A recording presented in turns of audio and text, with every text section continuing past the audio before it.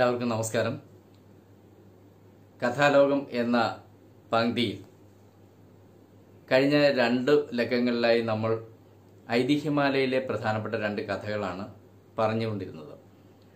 ഇന്ന് തികച്ചും സ്വതന്ത്രമായ ഒരു കഥയാണ് ഇവിടെ അവതരിപ്പിക്കുന്നത്. എന്റെ ഒരു സ്വന്തം കഥയാണ്.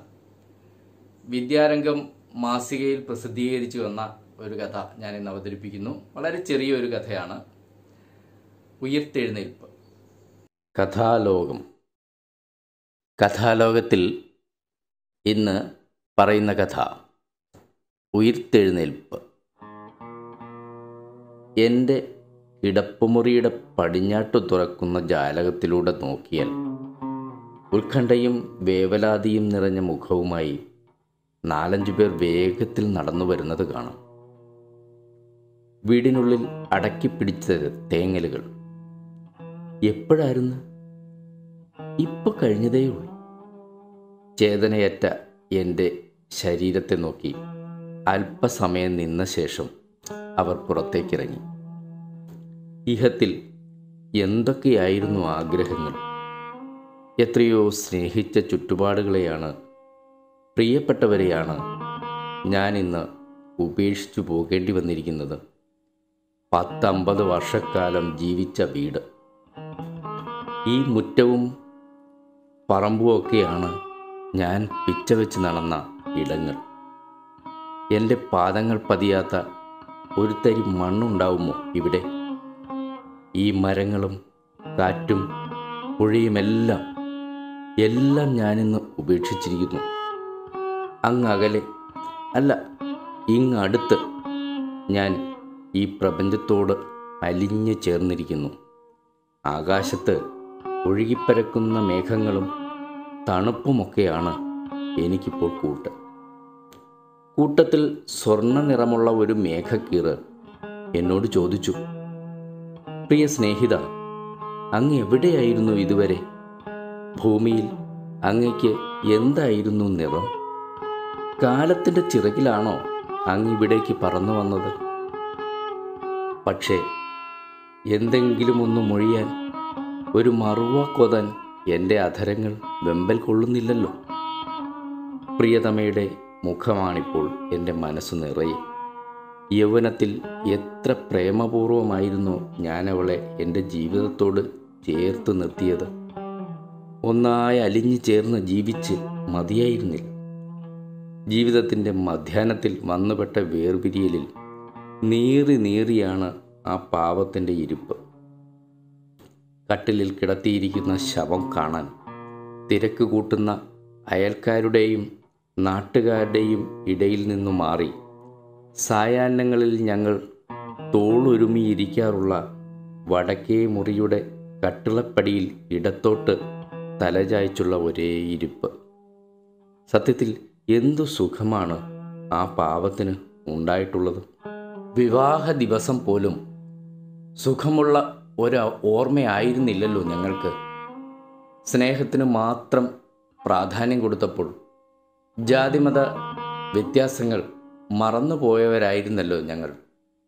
അങ്ങനെ ആർക്കും ഇഷ്ടമില്ലാതെ ഞങ്ങൾ ഒന്നായി. പിന്നെ ജീവിക്കാനുള്ള പോരാട്ടമായിരുന്നു. സമൂഹത്തിൽ എവിടെ നിന്നൊക്കെയോ കിട്ടിയ ചെറുകൈ സഹായങ്ങൾ അമൃതായി കരുതി ഞങ്ങൾ പിടിച്ചു നിന്നു. അധ്വാനത്തിന്റെയും സ്വയം പീഡയുടെയും നാളുകൾ. ഉരുകി ഉരുകിയിരിക്കുന്ന അവളുടെ അരികിലേക്ക് എന്റെ ചിറ്റ പതുക്കെ ചെന്ന് ചുമലിൽ കൈവച്ചു.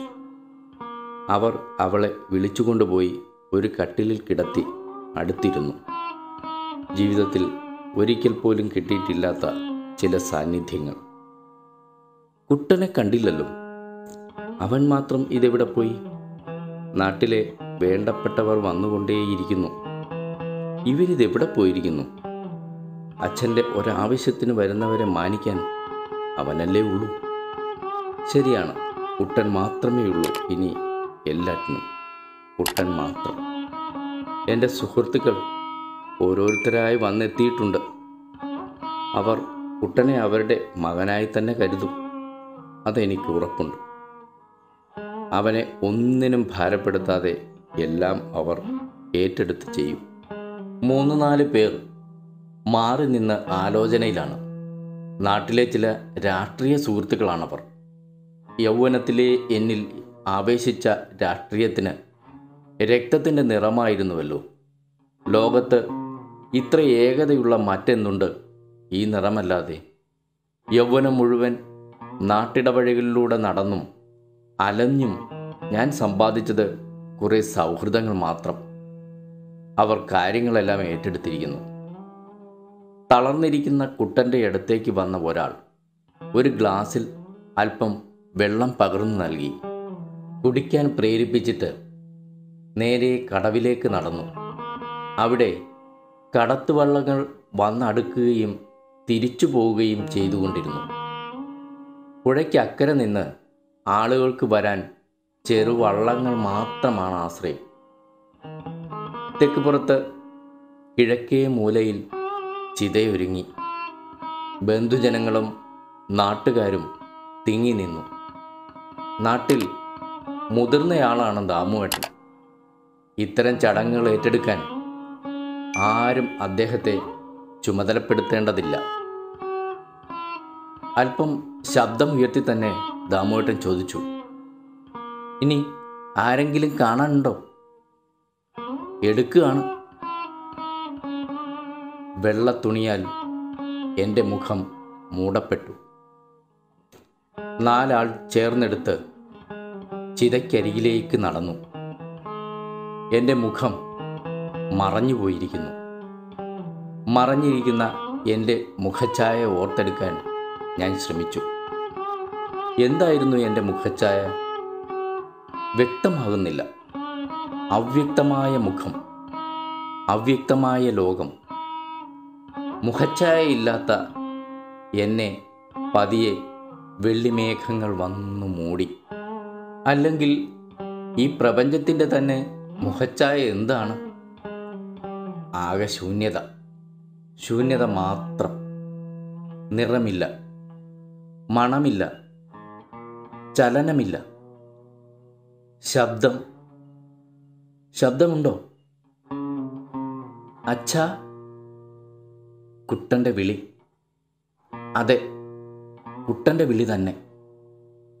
അച്ഛ ഞാൻ അച്ഛനെ എത്ര നേരമായി വിളിക്കുന്നു? പെട്ടെന്ന് മരണത്തിൽ നിന്ന് ഉണർന്ന് ഞാൻ കുട്ടന്റെ മുഖത്തേക്ക് തറപ്പിച്ചു നോക്കി. അവന്റെ കണ്ണുകളിൽ എന്റെ മുഖം. പ്രിയപ്പെട്ടവരെ ഈ കൊച്ചു കഥ ഇവിടെ അവസാനിക്കുകയാണ്. ഭ്രമാത്മകമായ ചില ചിന്തകളിൽ നിന്നും ഉയർക്കൊണ്ട ഈ ചെറിയ കഥ നിങ്ങൾക്ക് ഇഷ്ടമായെങ്കിൽ നിങ്ങളെന്റെ ചാനൽ സബ്സ്ക്രൈബ് ചെയ്യണം. കഥ ഇഷ്ടമുള്ള കൂട്ടുകാർക്കായി ഈ ചെറിയ കഥ ഷെയർ ചെയ്തു കൊടുക്കണം എന്ന് ഞാൻ അഭ്യർത്ഥിക്കുന്നു. എല്ലാവർക്കും നമസ്കാരം.